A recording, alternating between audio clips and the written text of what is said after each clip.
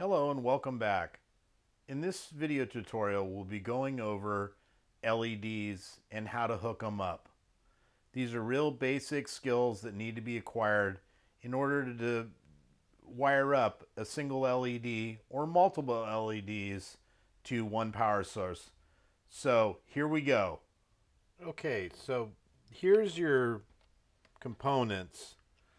You have an LED, and this is your basic 5 millimeter LED.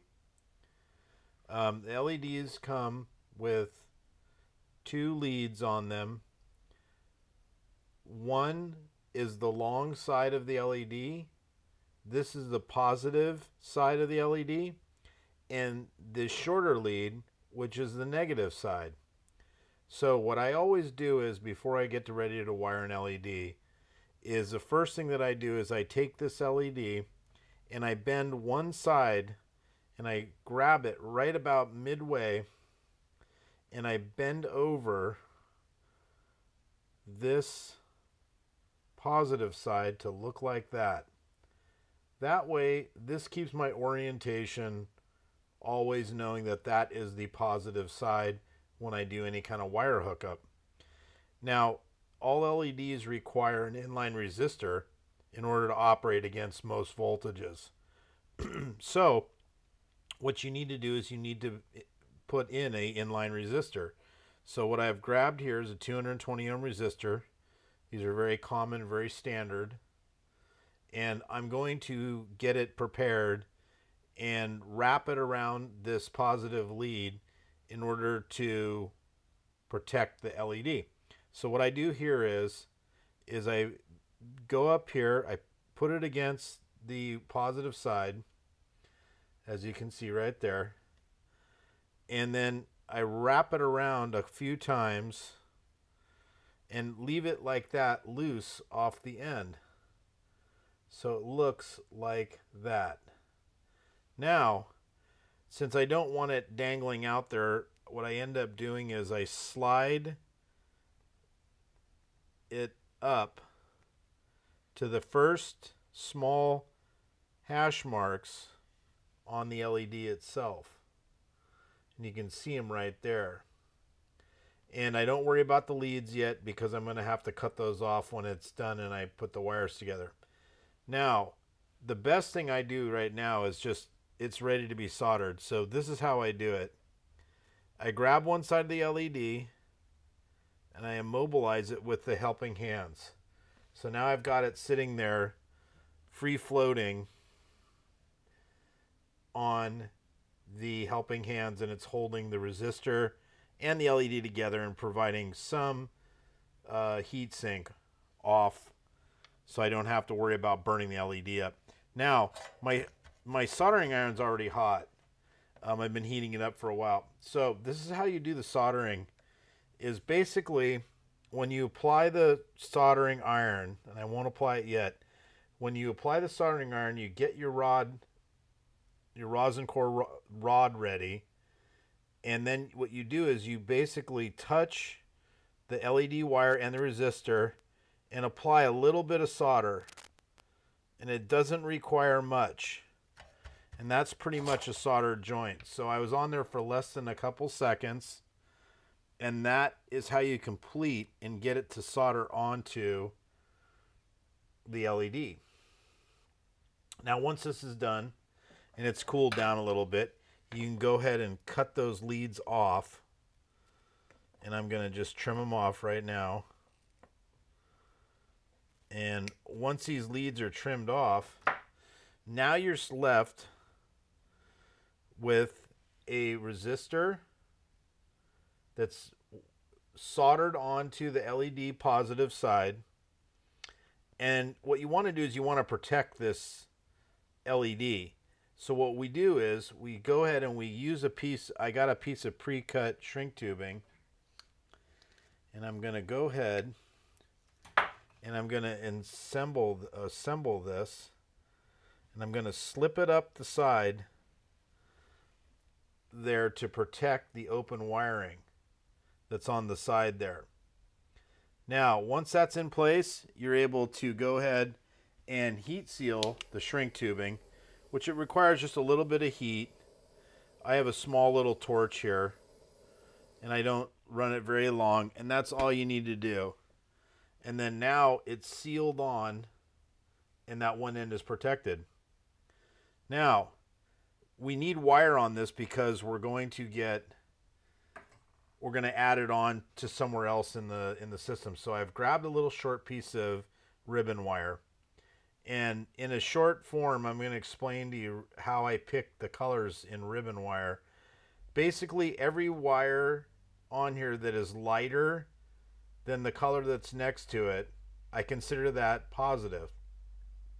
Any darker colored wires that are together in a pair, I consider that ground.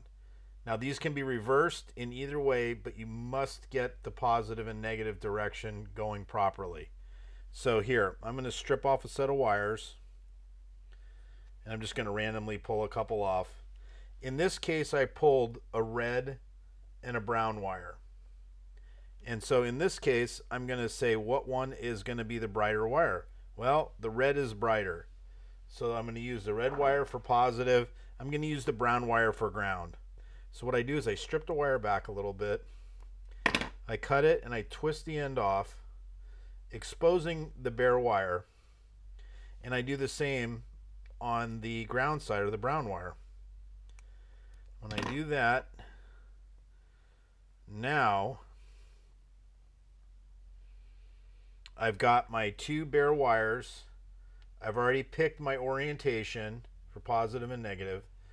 Now what you need to do, this you can get very forgetful about forgetting this, is I'm going to slide on a piece of shrink tubing on there prior to the install and just going to slip it over the main area and you want to make sure that you got enough jacket room so it kind of sits like that and that's how it's going to look when you go on there. So you take this one, and I always like doing the plus side first. And so what I do is I take it on there. I'm going to wrap it around the wire of the LED. And in this case, it's going to be on the resistor side because that's the plus side. Again, I'm going to wrap it around the edge of the wire. And I'm going to slide it up onto the uh, back of the resistor where it meets the resistor. Now again, I'm going to grab my helping hands. I'm going to hold the LED. I'm going to hold the wire in place. I'm going to make one quick solder joint on here, which is should only take a couple seconds. There it's soldered. Now I'm going to cut the lead off using my cutters and be just real close not to cut the wire and the uh, off and that's how you make a solid joint connection soldered to the resistor. And then I just slide this up and I put it on there like so. Again I'm going to get my heat shrink. Going to warm it up. Going to shrink that piece of tubing on there so it protects the wire end and that's how you make up there's the one positive side made up with an inline resistor. Now you can do this in multiple applications. So if you have one led if you've got 100 leds it makes no difference if you do the inline resisting system like this every one of them is going to look just like that now you can put the resistor somewhere else in line down the wire somewhere else and just make the connections but somewhere along this line in the positive side, you do need a resistor, and you'll need one resistor for each LED used. So now I'm going to move forward. I'm going to finish off the wiring. I'm going to go ahead and slide another piece of shrink tubing over the ground side or negative and then going to twist the wire make sure it's on there really good now I'm going to go ahead and I'm going to hook the same way going to spin it around the lead and I'm going to push it forward a little bit. And this time, since it's going to be a little shorter than the other one, you're going to have to push it up a little higher. And so that is about where we want it. So that's the way that's going to look when it's ready to solder. So again, I'm going to pull out my helping hands. I'm going to clamp it down. I'm going to hold the wire in position Going to go ahead and solder this joint. Again, two second rule. Heats on 1001, 1002. Pull it off. Soldered joint. Okay, and then that's what it looks like when it's soldered. So there's the other soldered end. And then we're going to slide our shrink tubing and we're going to cut this back a little bit first. So you want to just kind of clean that up and cut that little end off. Slide this up. Get your torch or lighter. You want to close up that wire end so it doesn't touch anything. And that's how you make an LED up with an inline resistor. And this can be done again in multiple ways or multiple LEDs can be done this way.